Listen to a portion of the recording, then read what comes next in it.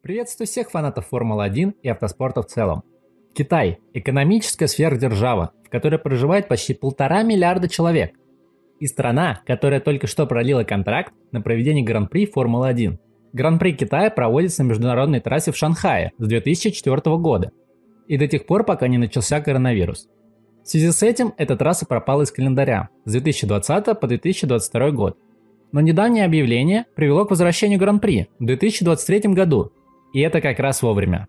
Поскольку впервые в истории Китай будет иметь своего собственного гонщика на решетке Формулы-1. Здорово, что наконец в пелетоне появится китайский пилот, хотя это и произошло за счет ухода Джовинации из Формулы-1.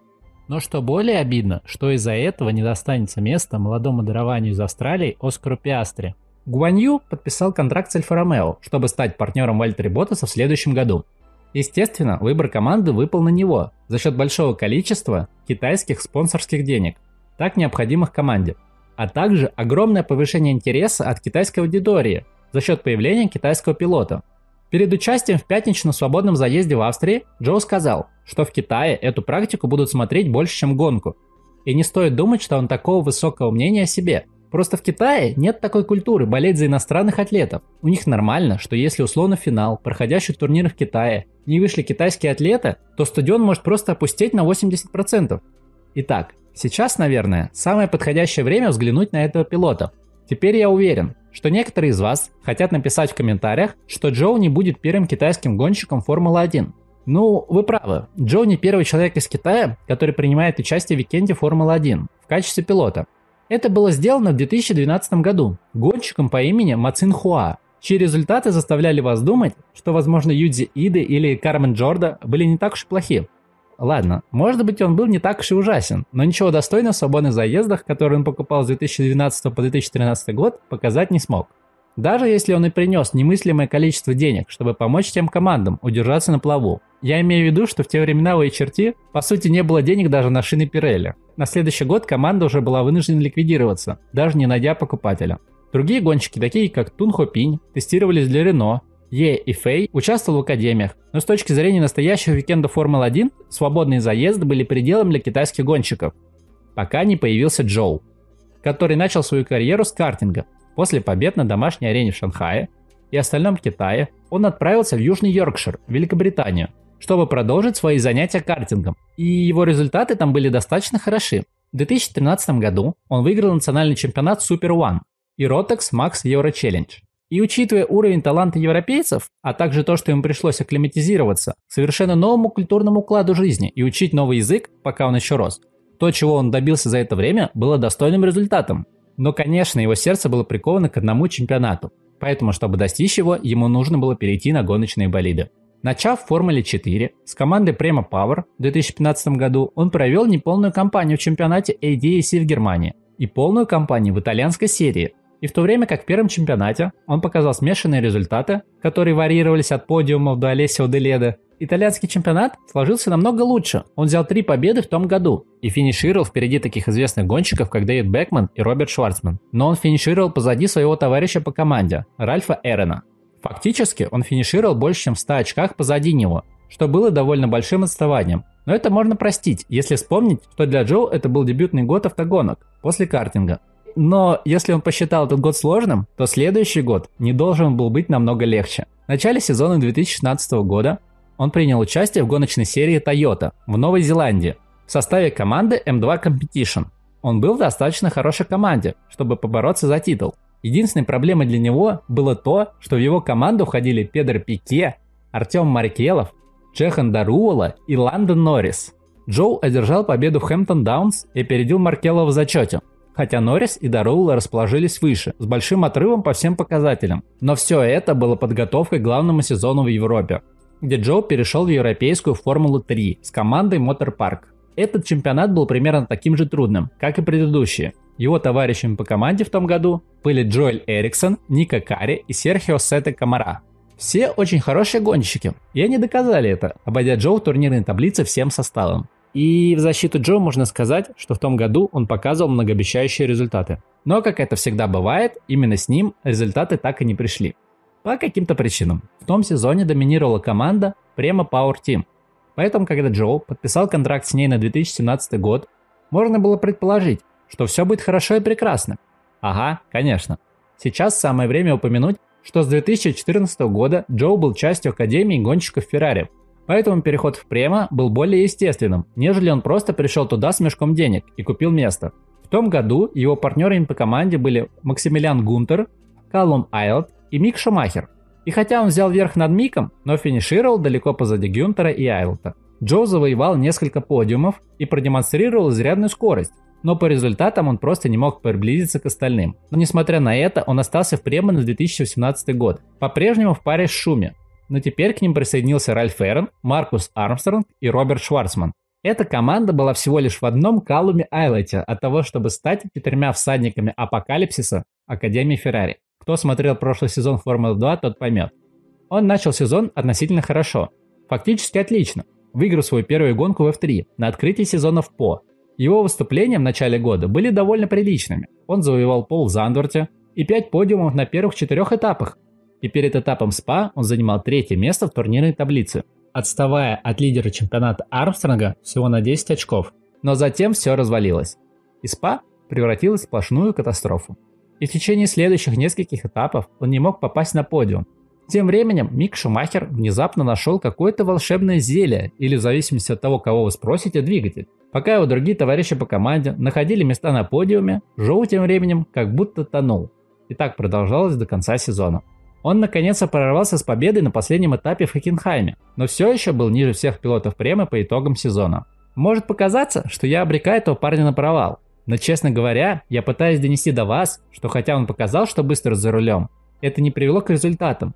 А результаты в конечном итоге имеют значение. Это все равно, что актер, который за всю жизнь сыграл хорошо лишь две роли, а остальные 20 бездарно провалил. Я думаю, каждый из вас может назвать хотя бы одного такого актера.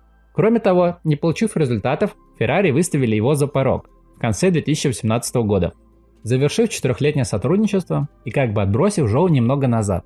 Вооружившись этими двумя победами в F3, Джо перешел в Формулу-2 на 2019 год и подписал контракт с Академией Рено на этот год, а также стал пилотом развития команды Формулы-1 Рено. Выступая за команду Универтуози с Лукой Гиота в качестве напарника. Ходили слухи, что Гиота помогал Джоу в настройке машины и развитии навыков пилотирования. Что могло быть правдой? Гиота пришел с многолетним опытом работы – так что то, что он обошел Джоу в личном зачете, не стало сюрпризом. Джоу действительно собрал несколько подиумов и провел достойный сезон, если не обращать внимания на огромный дефицит темпа на некоторых этапах. Но все могло быть и хуже. 2020 год пришел с большим количеством обещаний. Машины виртуози показывали скорость, а сам Джоу был в хорошей форме.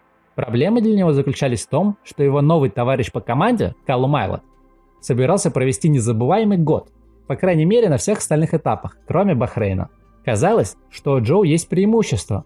В первой гонке в Шпильберге он взял пол и лидировал, пока не сошел с дистанции по техническим причинам. В это время Айлот проехал мимо и победил в гонке. Этот темп должен был стать стартовой площадкой, на которой Джо мог бы построить солидную чемпионскую кампанию. И да, я говорю о прямой борьбе за титул, но вместо этого, в то время как его товарищ по команде боролся за титул до самого конца сезона, Джо как бы потускнел и не показывал никаких признаков борьбы за чемпионство. Джо никогда не обладал темпом своего товарища по команде. И хотя он одержал свою первую победу в F2 в Сочи, это была его единственная победа в сезоне. В том году он занял шестое место в зачете, отстав от своего товарища по команде примерно на 50 очков. И от пилота, которого многие не очень высоко оценивают. И от еще одного пилота, который не слишком хорошо оценивают.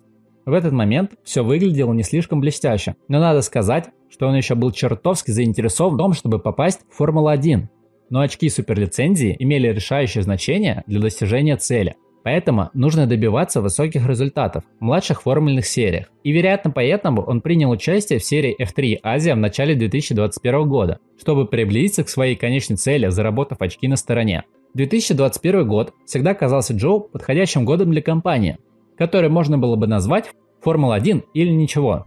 Оставаясь в виртуозе для последнего сезона в F2, к нему присоединился Филиппе Другович, который доказал, что является быстрым гонщиком. С самого начала стало ясно, что все колдовство, которое Джо применил в межсезонье, сработало.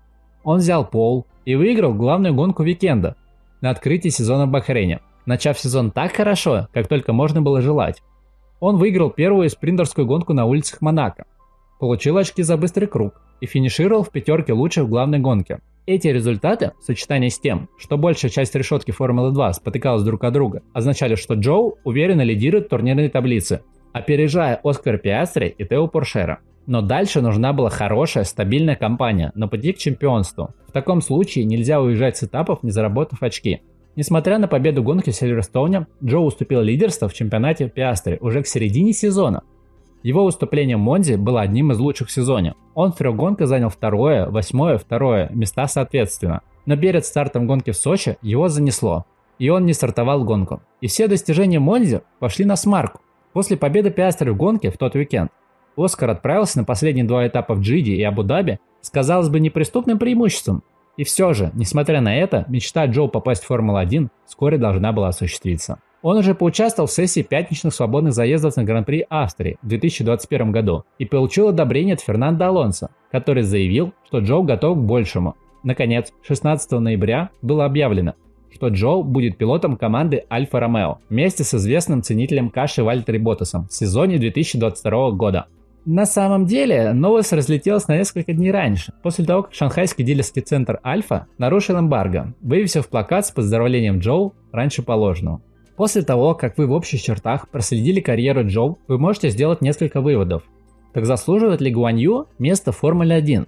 Точнее, заслуживает ли он место в Формуле 1 больше, чем такой пилот, как Оскар Пиастри? Пилот, который с первого сезона выиграл Формулу 3 и который с первого сезона собирается выиграть этот сезон Формулы 2, имея преимущество в 36 очков на Джоу за два этапа до конца чемпионата. Это не наезд на Джоу, а на систему, созданную нынешним состоянием Формулы-1. Нехватка мест для пилотов, сочетание с опасным финансовым положением некоторых из команд. Хотя говоря об этом, в какой момент в истории Формулы-1 не было ни одного рента-драйвера? Гениальность Пиастри, как пилота, была всегда заметна. Постоянно растущее количество наград, без необходимости в дополнительных годах или помощи со стороны. Гонщик, который, похоже, обладает ключевыми ингредиентами, необходимыми для успеха в высшем эшелоне автоспорта. Жоу тем временем, как бы это сказать помягче, его юниорская карьера не была столь впечатляющей, как у Пиастри. Если говорить более откровенно, то юниорская карьера Джоу почти напоминает карьеру Николаса Латифи. Несколько приличных результатов, показали хорошую, хотя не блестящую скорость, а затем в свой последний год в младших формульных сериях, Формуле 2, они набрали обороты и провели свой лучший сезон. Кроме того, Латифи вышел на сцену Формулы-1 без ожиданий.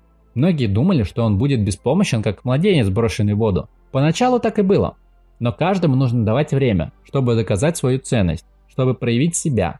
Эти два года прошли, и пока он все еще находится позади Джорджа Рассела. Он доказал, что является компетентным гонщиком, но насколько компетентным, мы узнаем уже в следующем сезоне, когда Рассел уйдет из команды, и Латифи будет бороться с Алексом Албаном. Может не быть напарником Кубиц Рассел, то он вернулся бы больше, чем на один сезон в один. Основываясь на этом, мы возвращаемся к Джоу и должны спросить себя, сможет ли он показать себя в Формуле 1. Но он вполне может это сделать. И мы должны дать ему время. В конце концов, у нас уже есть чемпионаты Стролл, Мазепин, да и тот же Латифи. Хоть он и не выглядит как будущий чемпион, но все же, должны ли мы дать ему шанс? Мне кажется, да. Но Альпин, вы обязаны обеспечить Пиастре местом на сезон 2023 года. Надеюсь, вам понравился такой формат видео. А я рекомендую вам на последних двух этапах сезона посмотреть за развязкой чемпионата не только в Формуле 1, но и в Формуле 2. Если вам понравилось видео, я напоминаю вам поставить лайк и подписаться, чтобы не пропускать интересные видео. А также теперь вы можете поддержать канал финансово и оформить спонсорство на мой канал. Или же задонатить по ссылке в описании. Буду очень благодарен. А в этом видео я благодарю Аляса из Абхазии, задонатившего 100 рублей к сожалению, ничего не написавшего, но в любом случае говорю огромное спасибо. Благодарю всех спонсоров канала, подписавшихся ранее и также донативших ранее. Еще раз всем огромное спасибо. Всем удачи и приятного просмотра гонок.